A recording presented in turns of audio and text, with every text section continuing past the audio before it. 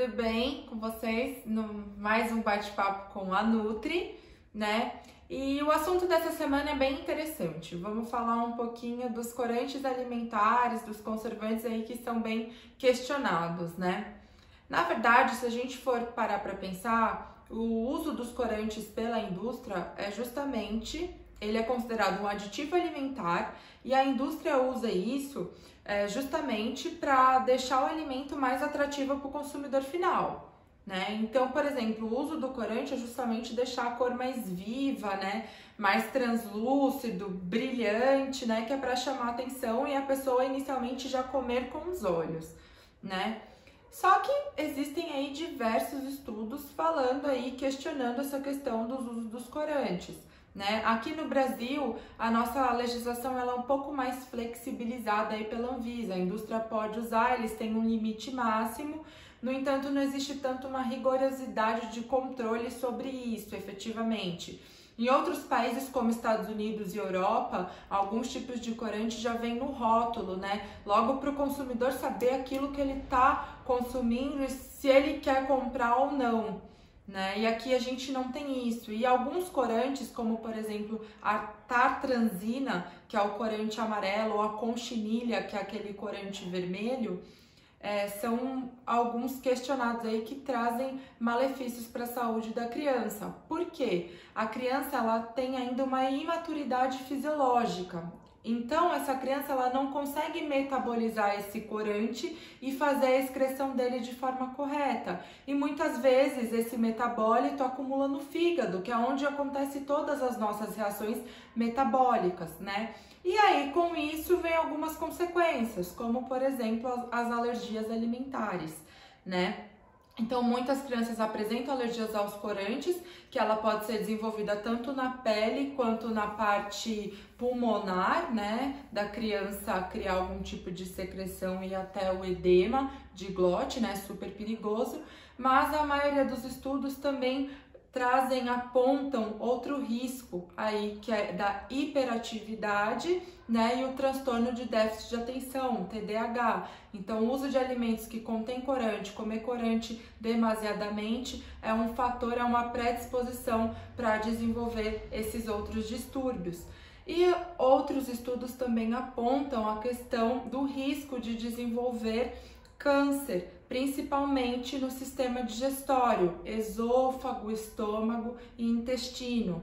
Né? Então, não só para as crianças, mas também para os adultos, fica aí um grande risco. Por isso, pessoal, que eu friso bastante da alimentação das crianças já começarem com alimentos in natura e a gente evitar os alimentos industrializados, que são os processados e os ultraprocessados, porque a gente garante uma adesão de um hábito alimentar, um comportamento alimentar correto ainda na primeira infância e isso fica mais fácil de se conseguir na vida adulta.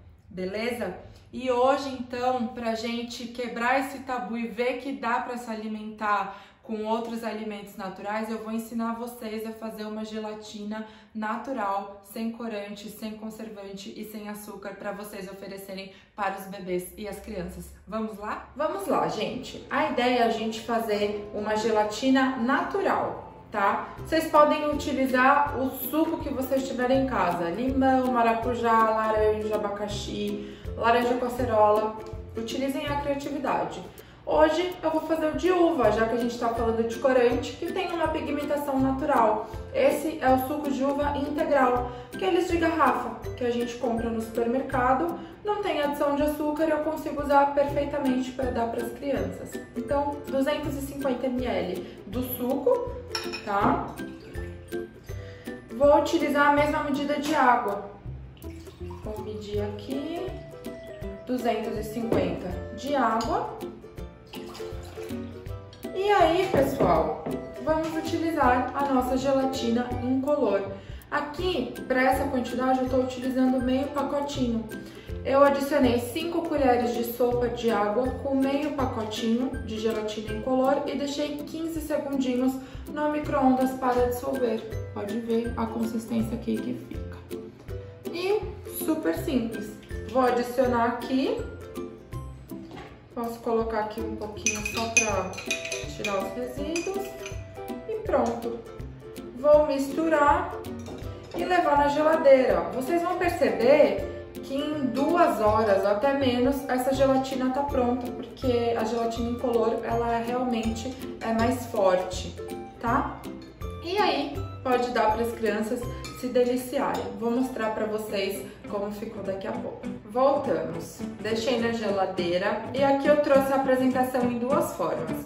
Vocês podem desenformar e cortar em pedacinhos, ó como fica, e dar na mão do bebê, da criança, para eles se deliciarem, ou na taça também. Se for muito pequenininho, a mãe ajuda, né?